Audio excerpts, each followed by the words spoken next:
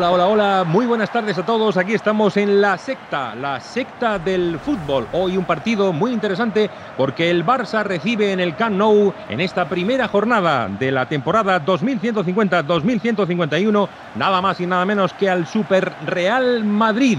Una grada repleta de público, primera jornada, por tanto los dos equipos llegan invictos. No han perdido, no han ganado, pero sí que se enfrentan entre sí. Ahí está justo en la línea de banda Bartolo que nos va a comentar ya cómo saltan los jugadores al terreno de juego. Muy buenas tardes. Muy buenas tardes Gerardo, muy muy muy buenas tardes. Vaya empiece frenético de temporada donde estamos viendo un Barça Real Madrid donde los dos están a tope, a tope de posibilidades. Vemos cómo está y Benzema saludando a todos los jugadores, están preparando ya para el partido y esto pinta pero que muy muy muy muy bien en el eh, nuevo estadio recién denominado No Galaxy New Camp. Aquí están los 22 jugadores que ya saltan al terreno de juego, se han saludado y por cierto que hay una temperatura magnífica, no sé ahí en, eh, junto al césped, pero creo que la humedad es perfecta y también la temperatura óptima para el, juego del deporte del fútbol en la tarde de hoy. 26 graditos nada más y nada menos que se está rondando en el césped. Son las 8 de la tarde, justo ahora mismo de la noche, ya casi anocheciendo en Barcelona. Y vemos como ya Fabio Coentrao está tocando la bola, vemos que la pierde. Y una duda que yo tenía muy grande era, Dani Alves había sufrido una grave lesión en los partidos de pretemporada, pero leemos que está a tope, está a 100%. ¿Qué opinas, Gerardo? Bueno, la verdad es que sí, después de la pretemporada y esa gira asiática que han realizado tanto el Real Madrid como el Barcelona en Brasil, yo creo que los dos equipos vienen bien listos, pero lógicamente falta engranaje. Cuando hay un córner, en este momento saca el Barcelona que eh, intenta atacar por ahí por el centro. Está Sergio Busquets con el balón, despeja Benzema, pero es concretamente Fabio Coentrao el que se adentra dos para dos, penetra en el campo del Barcelona. Coentrao de nuevo, Fabio Coentrao se deshace de uno, de dos, tira y gol. Primer gol de la liga, primer gol del Madrid. Fabio Coentrao en el minuto 6. Él solito ha hecho una jugada, se ha deshecho de sus rivales y ha conseguido batir la portería de Valdés. ¿Cómo lo has visto? Yo creo que al Madrid le pinta un muy buen partido, eh, siendo como el Barça toca la pelota, toca y toca y toca, eh, meter un gol a estas alturas de partido yo creo que le va a venir, pero que muy, muy, muy bien al Madrid. Ahora lo que tendrían que hacer es replegar líneas un poquito hacia atrás y pillarles al contraataque, porque como empieza a tocarle al Barcelona, sabemos todo el mundo lo que son capaces de hacer este equipazo, que a mi parecer hoy en día es el mejor equipo de Europa. Pero ya te digo, el Madrid ahora lo que tiene que hacer es tocar, tocar, tocar y no desconcentrarse del partido. Recordamos aquellos tiempos del siglo XXI, de principios del siglo XXI, cuando el Real Madrid y el Barcelona también pujaban por lo mejor y estaban ahí arriba. Eh, recuerdo que cuando el Madrid consiguió su decimosexta Champions League fue cuando ya el Barcelona despegó un poquito y después eh, de unos cuantos años consiguió pues 10 eh, Champions League, nada más y nada menos. Bueno, pues seguimos con el partido, este encuentro en el cual, bueno, lanza Benzema, pero ha ido fuera, fuera, la pelota es sacada en ese momento por Valdés por parte del Barcelona. Ahí está Puyol, Puyol avanzando hacia la derecha, tiene delante de él a Marcelo. Marcelo ha robado la pelota, eh, conecta con Cristiano Ronaldo. Cristiano Ronaldo dribla y marca, eh, en este caso, el balón hacia Ozil. Ozil rápidamente lo intenta lanzar hacia la otra banda, pero pierde el Real Madrid la pelota y está en poder del Barcelona. No sé si estarás escuchando por ahí, por la tribuna, los silbidos que le están pegando a Cristiano Ronaldo cada vez que toca la pelota. ¿Se oye por ahí arriba, Gerardo, los pitidos?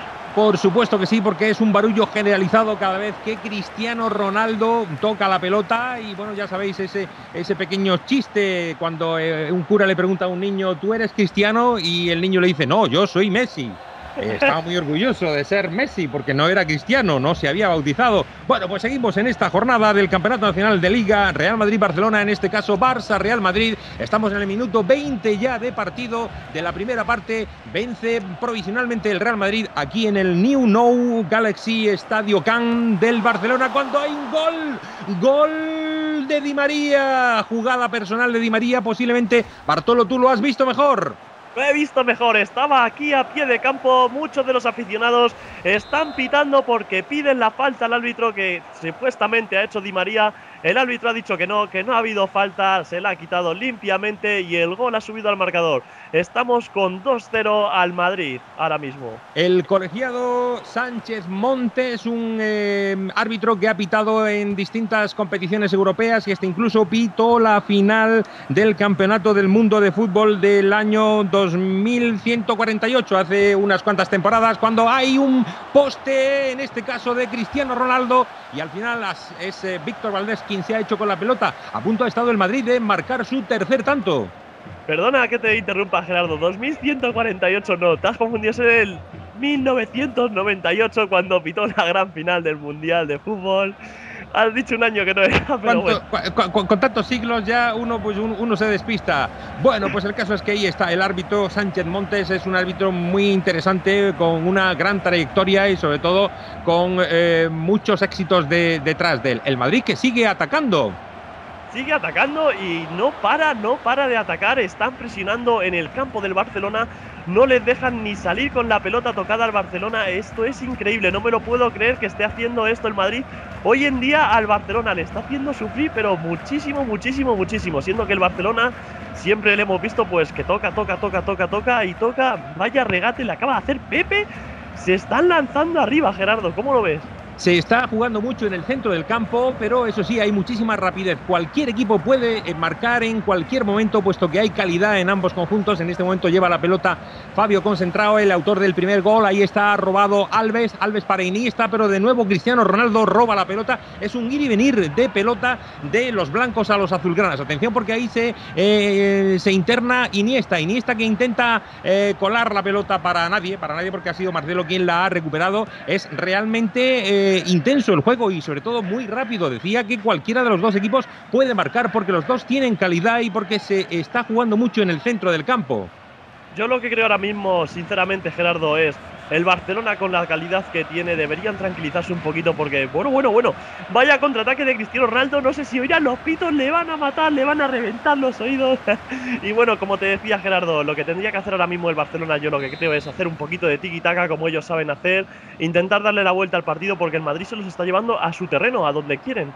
Saque de esquina que ha lanzado el Barcelona, pero sin problemas porque el Madrid de nuevo ha recuperado la pelota. Ahí está Fabio concentrado, muy activo en el encuentro de hoy. Falta de. ¿De quién ha sido la falta? Y tarjeta de Villa. La has visto mejor, ¿verdad? La he visto, la he visto. Yo, eh, sinceramente, a mi opinión, le ha podido hacer mucho daño con esa entrada. ¿eh? Se tendría que andar un poquito con más cuidado David Villa porque le ha podido hacer muchísimo daño en esa jugadita. La pelota que directamente va a las manos del cancerbero y con una coronita todo se lleva mejor. Una coronita, una cerveza especial, una cerveza de cinco estrellas. Puede ser Mau, pero no es Mau, porque esta noche tenemos aquí Coronita, la cerveza de los mexicanos y de los que nos encanta el fútbol. ¿Te has tomado tu coronita? La coronita la tengo aquí ahora mismo en el campo, que hace un calorcito muy rico. Estamos ya, como os he dicho, ha subido un poquito la temperatura. Estamos a 29 grados ahora mismo y la verdad que viene muy bien.